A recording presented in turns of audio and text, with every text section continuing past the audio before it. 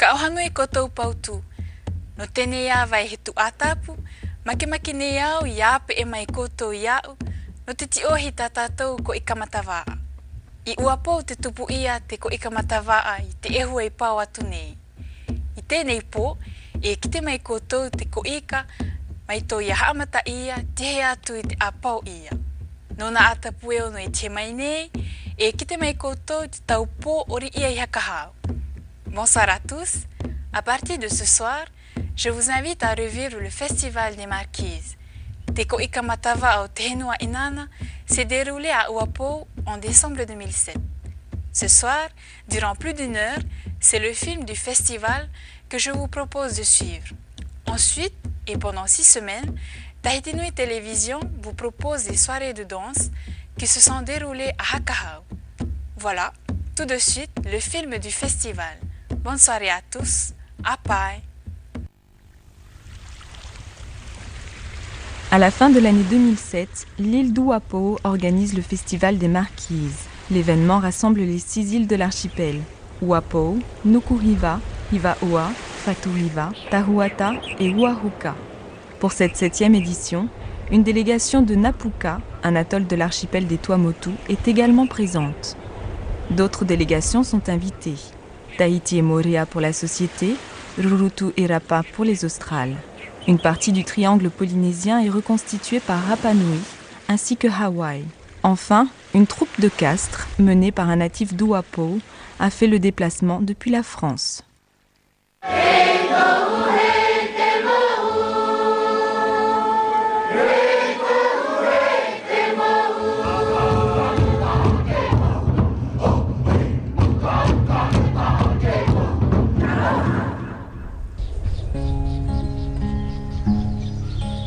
Monseigneur Hervé Lecléache, président d'honneur de l'association Motuaka, écrivait Bien des voyageurs ont fait part de leur émerveillement à la découverte des îles Marquises, surgissant à l'horizon du vaste océan dans leur grandiose beauté, leur majesté, leur silence. Car elles semblent désertes et muettes les rives de ces îles qui ne résonnent que du bruit sourd du ressac battant les falaises inhospitalières. Des questions sans réponse se posent nombreuses. En effet, à qui s'aventure dans certaines vallées des îles Marquises?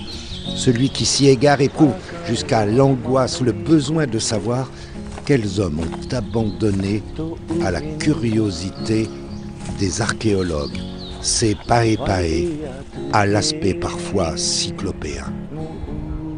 Je me surprends à rêver d'une rencontre de science-fiction. Par la magie de la machine à remonter le temps, ne pourrait-on pas faire apparaître soudain aux yeux médusés d'un groupe de jeunes un de ces vieux sages dits Touka Ono Ces semblables avaient mémorisé les généalogies remontant aux origines du peuplement des îles. Ils détenaient les secrets de la navigation lus dans les étoiles ou dans l'aspect fugitif des flots. Ils connaissaient les réponses apportées par les ancêtres aux questions qui se posent sous tous les cieux. D'où venons-nous Où allons-nous? Le Toukarono nous les aurait interprétés à nouveau, récitant et scandant les refrains des mythes légendaires.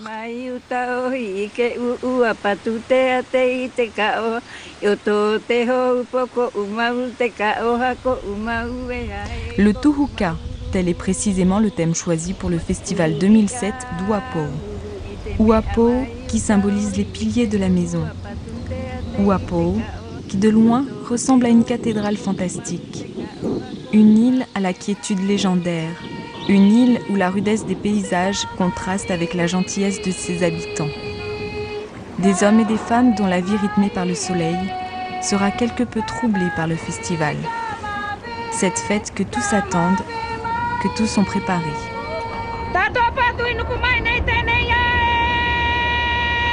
Pour rejoindre Wapo, la voie maritime est la meilleure solution. De ce fait, les grands moyens ont été mis en place. Le Tahiti Nui a acheminé les délégations de Rapa, Tahiti et Moorea. Le Dumont d'Urville de la Marine nationale est également mis à contribution. Le navire a acheminé les délégations des Tuamotu et certaines des marquises. Le petit aéroport situé dans la vallée d'Aneau n'était pas en reste. Le Twin Otter a multiplié ses rotations. Durant les festivités, le cargo mixte Aranui a lui aussi débarqué son lot de touristes.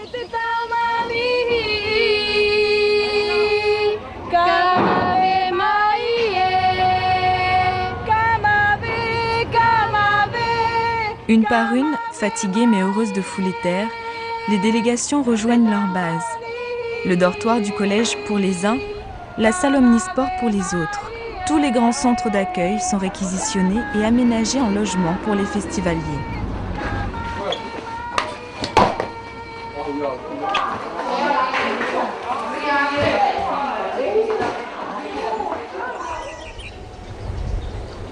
À l'écart du monde, l'archipel mérite bien son nom, la terre des hommes. Ici, la nature est reine et les hommes doivent être solides et humbles. L'archipel mythique est considéré comme le berceau de la civilisation maori. Partie du sud-est asiatique, les populations venues de l'ouest s'installèrent là il y a 17 siècles. Les scientifiques considèrent que l'archipel servit de plateforme d'exploration pour coloniser Hawaï au nord, la Nouvelle-Zélande au sud-ouest et l'île de Pâques au sud-est.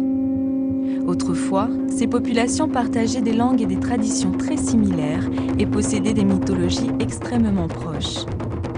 Une ère culturelle aujourd'hui désignée sous le nom de triangle polynésien. Quasiment toutes les composantes de ce triangle sont rassemblées pour le Koika Matava'a d'Uapo.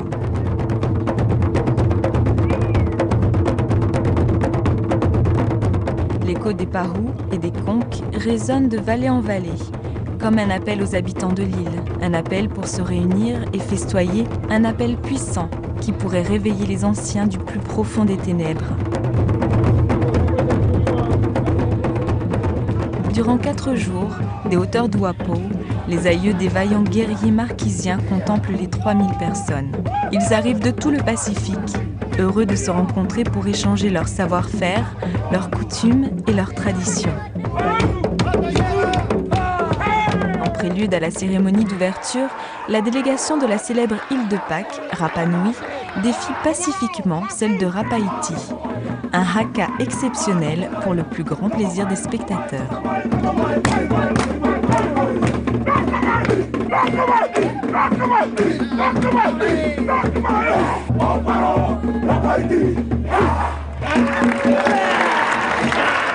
Cette fête unique est également l'occasion pour tous les danseurs et danseuses de se vêtir de leurs plus beaux apparats. Fatou Hiva n'a pas lésiné sur les ornements, confectionnés à base de tapa.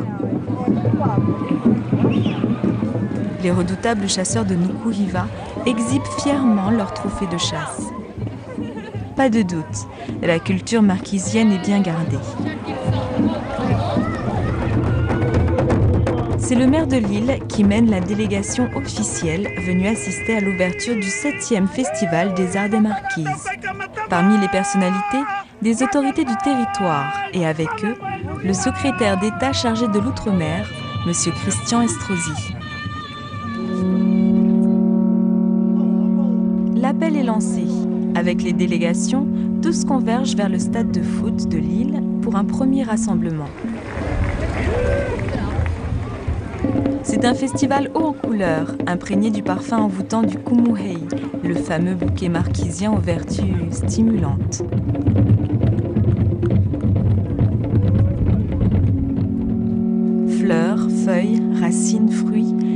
Ingrédients ne manquent pas pour confectionner les costumes, tous plus originaux les uns que les autres.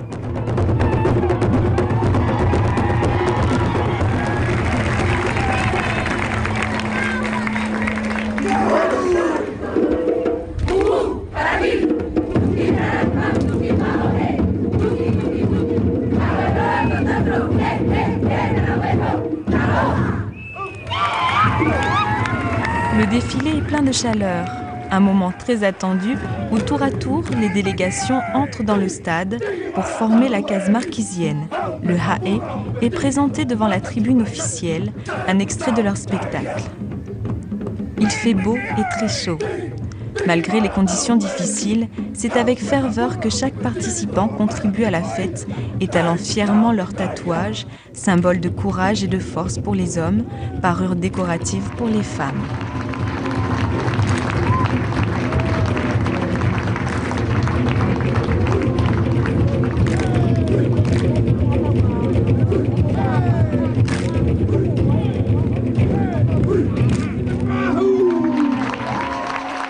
Bola, Bola, salve, Bola!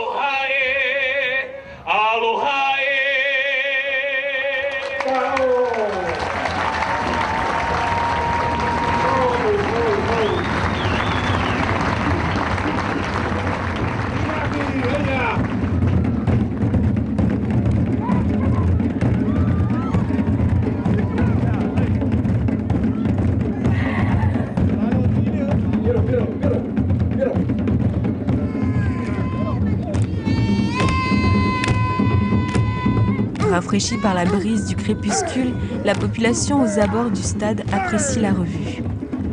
Si une palme devait être décernée à la troupe ayant parcouru la plus grande distance pour participer à ce festival, elle reviendrait à la formation de Castres. Depuis deux ans, elle a préparé ce voyage aux antipodes.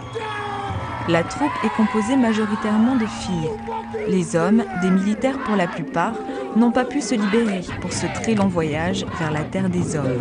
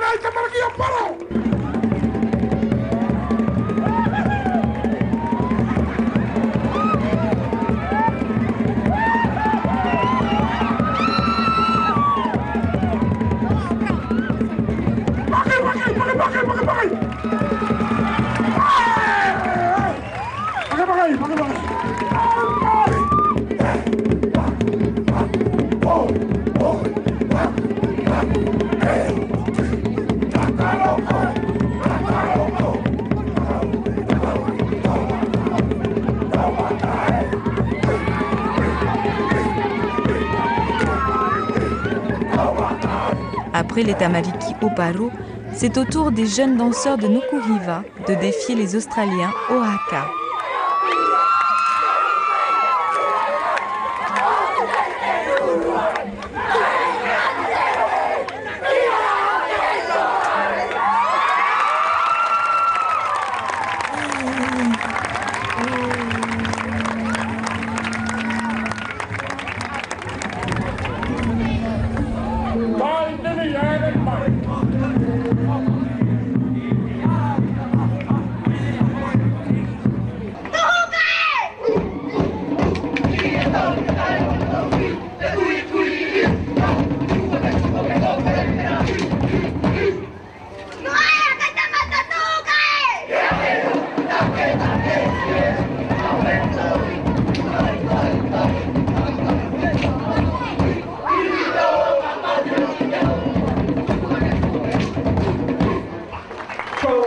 comunito, que tenía con él, que es un buen jugador, que es un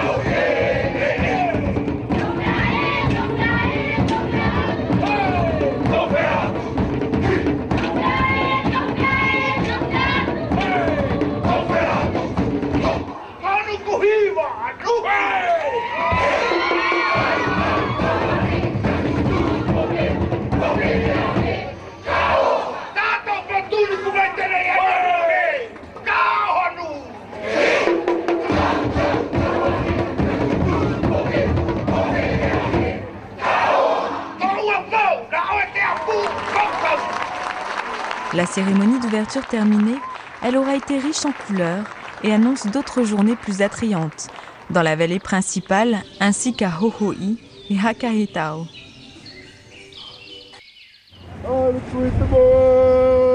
Deuxième jour du festival, le programme est bien chargé. Outre les danses, y figure également le fameux Grand Kaikai. Ce repas géant est proposé par tous les groupes présents au festival. Chaque délégation prépare des plats traditionnels. La quantité de nourriture est proportionnelle à la taille de la délégation. Pendant que certains préparent les fours, d'autres s'affairent du côté de la nourriture. Tout doit être prêt à temps. Décembre dernier, la capitale des arts des Marquises. Un événement culturel où la richesse des arts s'exprime tant dans le tatouage que dans la pureté des chants, tout comme dans des sculptures sur les bois les plus nobles. Te Matava ou Te Henua Enana, le film du Festival des Arts comme si vous y étiez, dans un instant sur Tritini Télévision.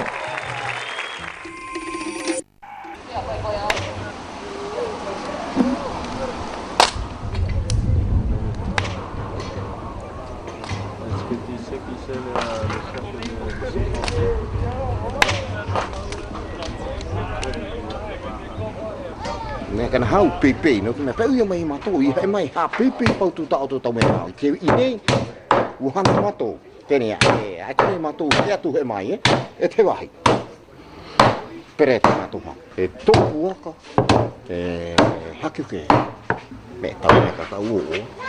Tau buka ka tau o. Te ria tamato i hana nei. Me au ian hata mato ia, ina ki te i tai nei ke, ya. to tō, tonu ehi, te tau ni tō,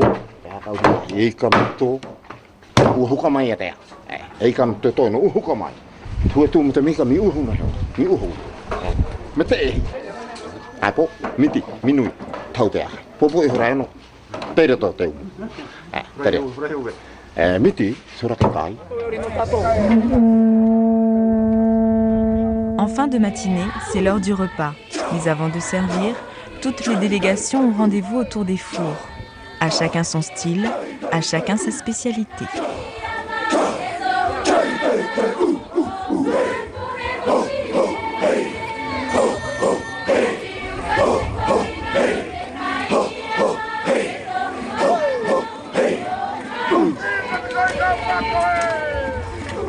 Il y a deux jours, les Rouroutous stockaient dans ce four des régimes de bananes vertes.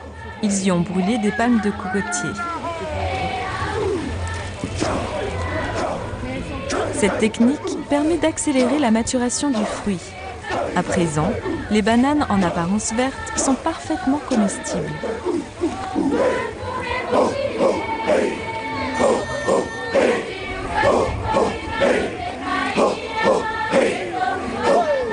Dans les fours, les spécialités de chaque île. En 4x4 ou sur les épaules, tous les moyens sont bons pour acheminer la nourriture encore chaude sur les lieux de dégustation.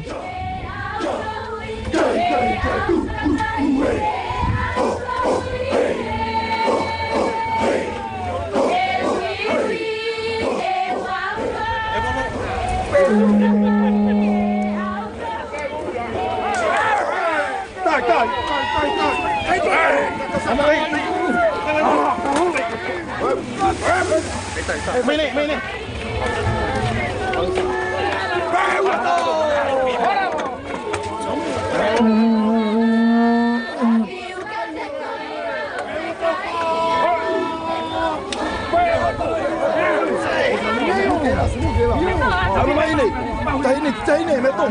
快点快点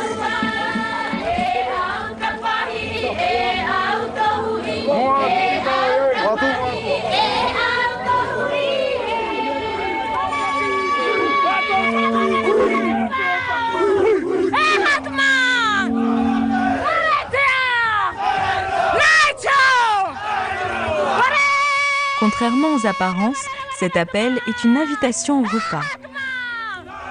Il retrace tout ce qui a précédé cet instant.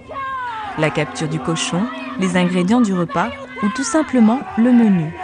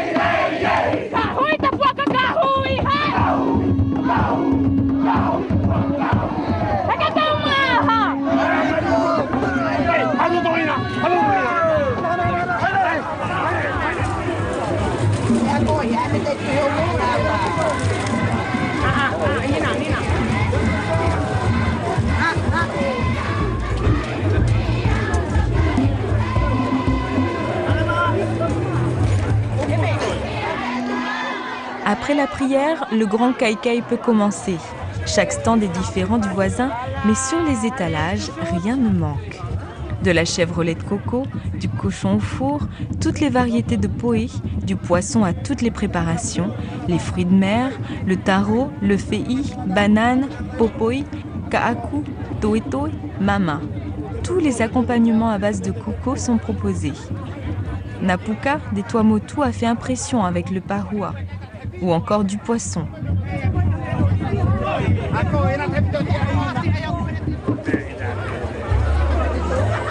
Les Australes avec Rapa et Rurutu ont également sorti leur spécialité. Leurs poissons, le fameux nanoué, ainsi que des langoustes que nous n'avons pas eu le temps de filmer. Il n'y en avait déjà plus sur les étalages.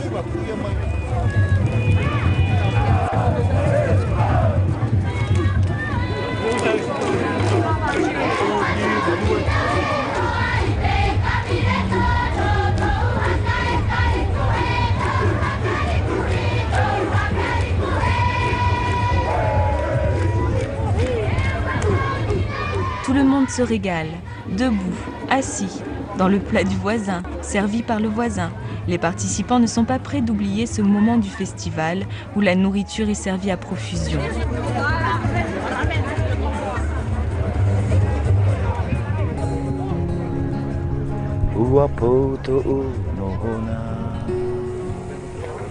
Toutes les manifestations dans la vallée de Hakahao se déroulent au village autour du terrain de football, transformé en parking pour l'occasion.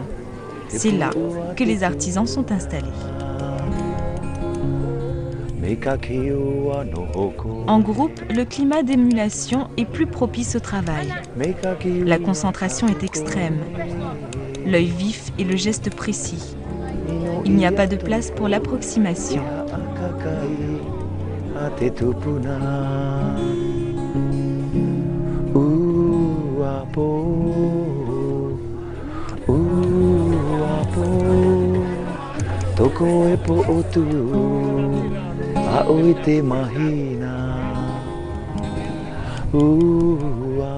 La gouge et le couteau affûté, l'effort est dosé avec minutie. Le bois de rose, le tau, le bois de fer sont les bois les plus utilisés. Il en sortira un casse-tête, une lance, une rame, des répliques d'armes qui servaient jadis aux redoutables guerriers pendant les hostilités tribales.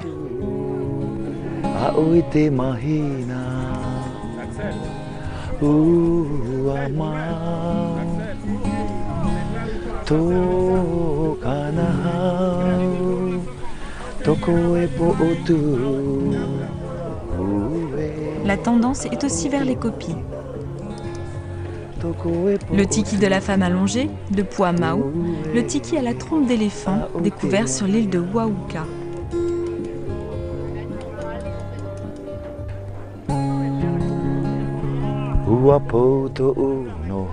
Aux Marquises, c'est à Uapo que se trouve la plus grande diversité de pierres, dont la plus célèbre, la pierre fleurie.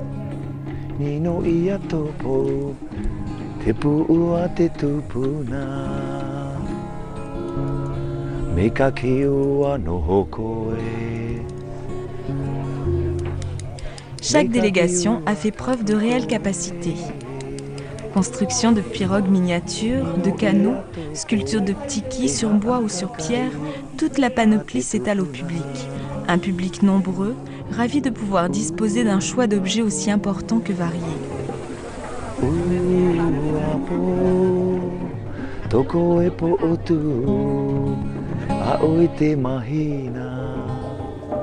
À défaut de pouvoir sculpter, les femmes de Napuka excellent dans le tressage de palmes de cocotier, une activité qu'elles affectionnent particulièrement.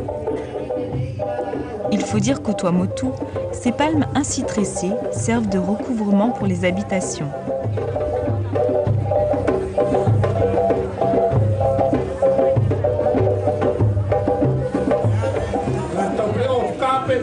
mea treka te nuku hiwa, tau tono mai e tato. Te kawa suni ai koto, pui e heo iohi kai tau, pui e ua mue, e mea hanea koto he tāpura. E koto toa tonu mini he a kāwe me maksu ia, na ia. Ni e tue hienu i anuna hei kai tau, maa tō pupu e tā. Thank you.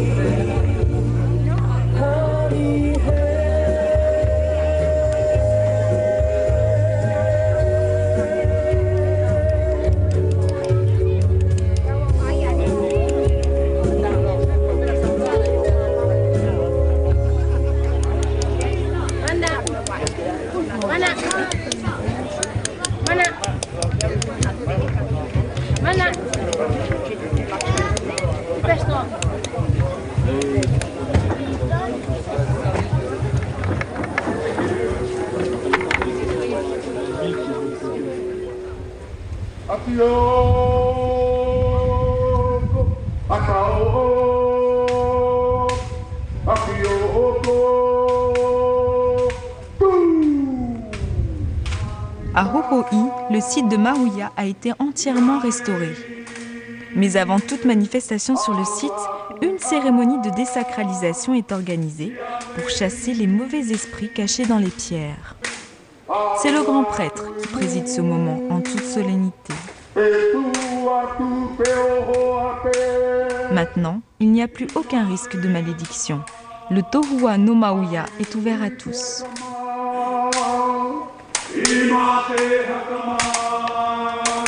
He ko aika matawa. Oh, te tautu.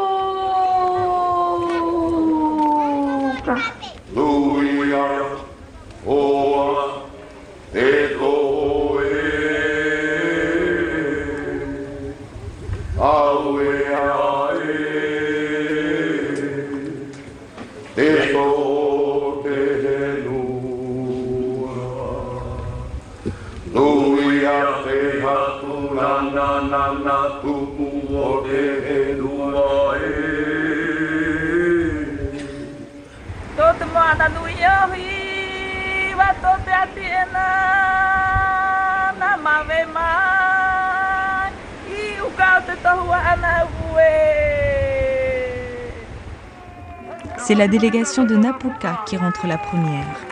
Signe d'un profond respect pour leurs ancêtres, une cérémonie de retrouvailles empreinte d'émotion est organisée. En effet, il y a plusieurs siècles, des habitants de la tribu Tahaka habitaient sur ce site Maouya. Mais l'histoire a voulu qu'ils quittent leur île pour d'autres horizons lointains.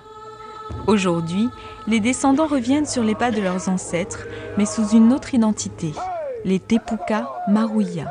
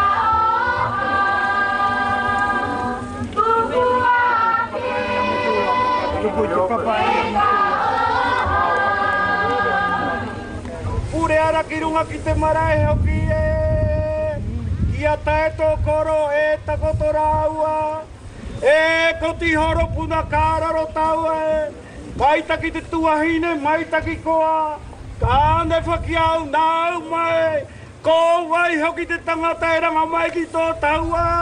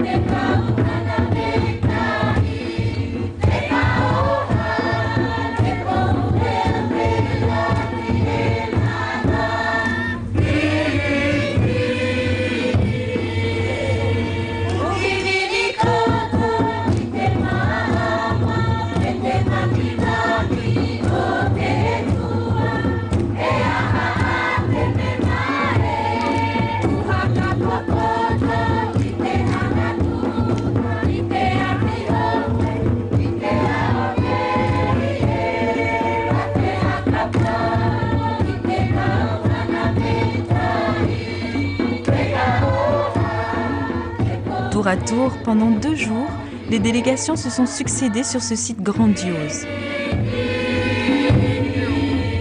Pour marquer leur passage sur ce site magnifique, la délégation de Nukuhiva a préparé un tiki, une femme portant son enfant taillé dans le tuf, une offrande à la tribu Tahaka de Hohui.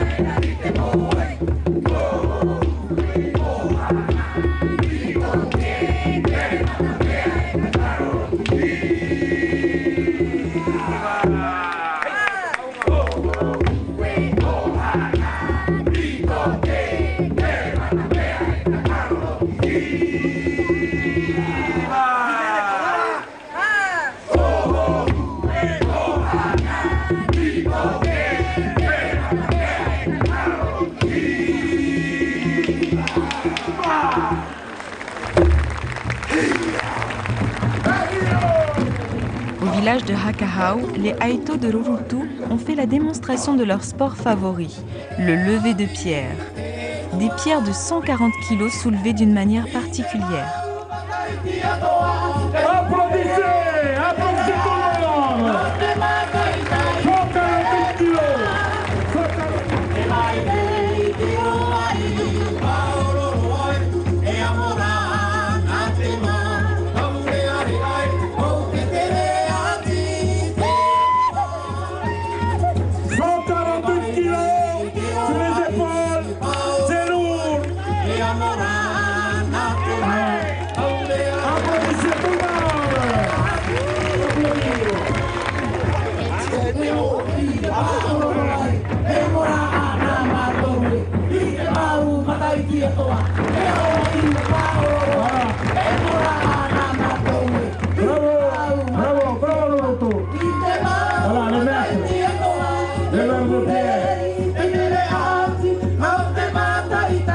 Avec une aisance authentique, les hommes forts de Rurutu ont étonné le public. Un public passionné qui n'a pas hésité à essayer ce sport spécifique des Australes. En vain. Pas de doute, les Rurutus sont réellement les meilleurs.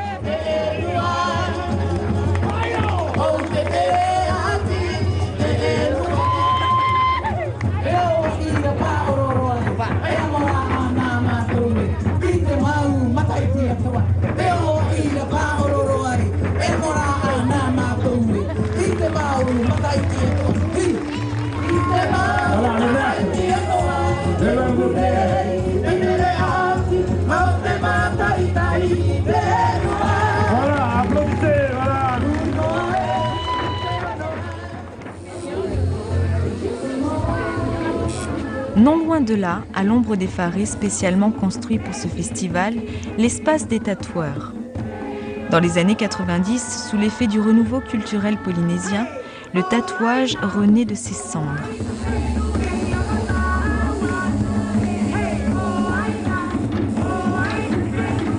À l'image d'un peuple et de sa culture, le tatao retrouve ses lettres de noblesse.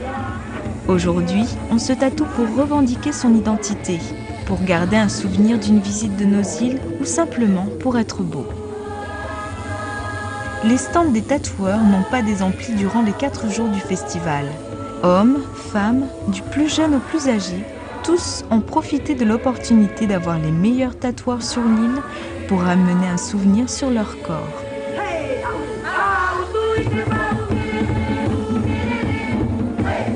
Libérés des tabous, les motifs se modernisent.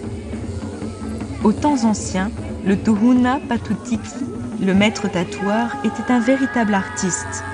Il transmettait habituellement son savoir à son fils, son premier assistant lors des séances de tatouage. À présent, les styles marquisiens, samoan, maori s'associent pour composer de nouvelles formes.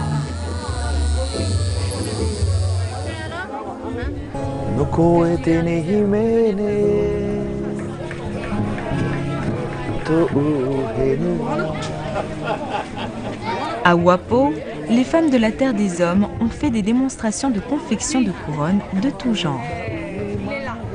Des couronnes sont composées uniquement de tapa, d'autres sont faites à base de poroiti, un fruit de la famille botanique des solanacées de la tomate.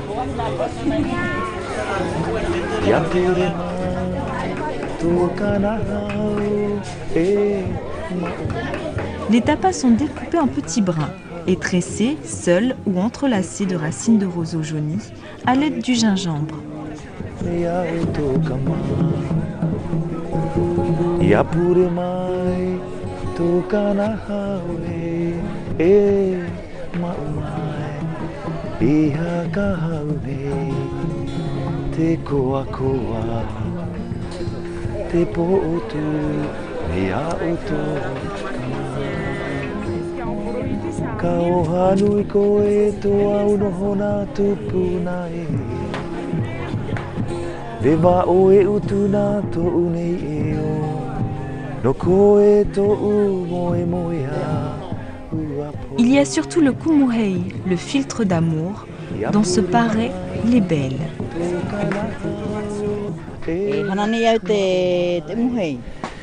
Le kumuhei est composé de multiples fleurs et plantes odoriférantes. Il y a le niou, le miine, le basilic, le meié, le maïré, l'alixia, le taretare de la famille du fenouil, le tiaritaiti, la hinano, la fleur du pandanus, le thym, le kaupé, pois, l'ilang-ilang, des racines de roseau, de l'ananas trempé dans de la poudre de santal,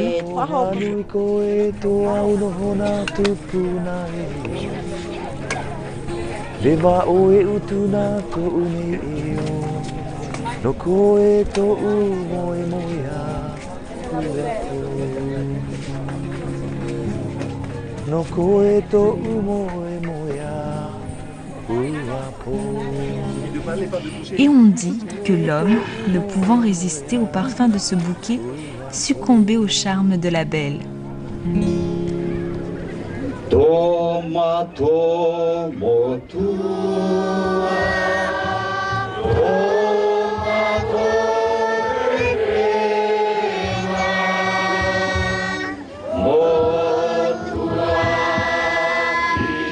Dans les pieuses marquises, les manifestations se terminent toujours par une prière.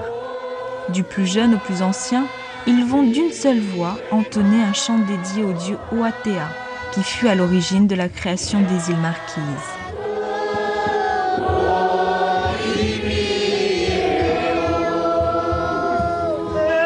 Le premier festival des Marquises s'est déroulé ici même, à Wapo, en 1987 sous l'impulsion du Tematava'a Otehenua Nana, l'éveil des îles Marquises. Il a bien évolué depuis.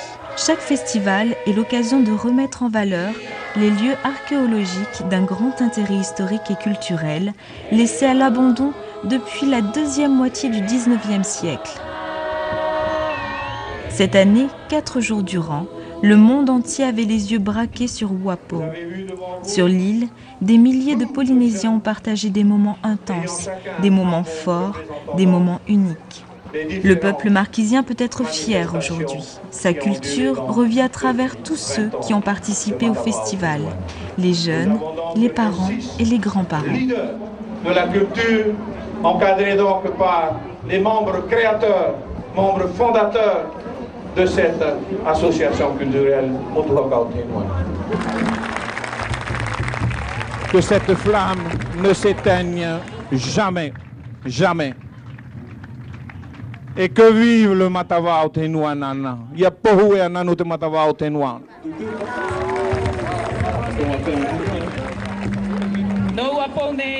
Franchissant la barrière de la langue, des liens se sont créés entre chacune des délégations.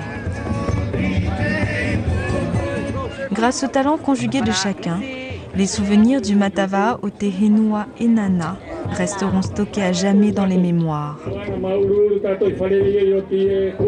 Rendez-vous dans 4 ans à Nukuiva.